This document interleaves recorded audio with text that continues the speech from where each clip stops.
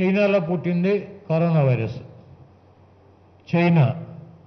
అది ప్రపంచానికి శాపంగా మారింది. మన రాష్ట్రంలో ఒక చైనా ఉన్నాడు. Yellow virus Chandrababu Naidu. అది కూడా కరోనా వైరస్కి ఏమీ తీసిపోదు ప్రపంచాన్ని నాశనం చేసేటువంటి కరోనా వైరస్కి చైనాలో పుట్టినటువంటి కరోనా వైరస్కి ఇంకా ముందు వ్యాక్సిన్ ప్రపంచం కనిపెట్టలేదు కానీ మనకున్నటువంటి చైనా గాడిని కోరల పీకి సమాధి చేసి పైకి లెగవకుండా దాని ప్రభావాన్ని తగ్గించి భూస్థాపి చేసిన చేసినటువంటి వ్యాక్సిన్ వైఎస్ జగన్మోహన్ రెడ్డి గారు. కాబట్టి చంద్రబాబు నాయుడు డెబ్బై సంవత్సరాల వయసు.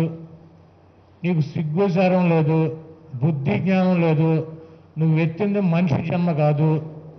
ఈ రోజు కూడా నీ ఊర కుక్కలతో జగన్మోహన్ రెడ్డి గారి మీద మా మీద ఇంకా ఆరోపణలు రాజకీయ విమర్శలు శవాలను పట్టుకుని ఎక్కడో ఒక ముసలావిడ చనిపోయిందని చెప్పి ఒక శవాన్ని పట్టుకుని రాజకీయాలు చేయటం. నీది అసలు మనిషి జన్మేనా? కాటికి కాళ్ళు చాపి రేపో మాపో పోవటానికి సిద్ధంగా ఉన్నటువంటి నువ్వు ఇటువంటి వైరస్ వచ్చి చిన్నపిల్లల కాడించి పెద్దవాళ్ళ వరకు వణికిపోతా ఇంట్లో కూర్చుంటే ఈ ప్రపంచమే నువ్వు రాజకీయాల కోసం దిగజారి ఇటువంటి దిక్కుమాలినటువంటి పనులు చేస్తున్నటువంటి నువ్వు మనిషివా మనిషి జన్మనెత్తినటువంటి వ్యక్తివా? అర్థం కావట్లేదు మాకు.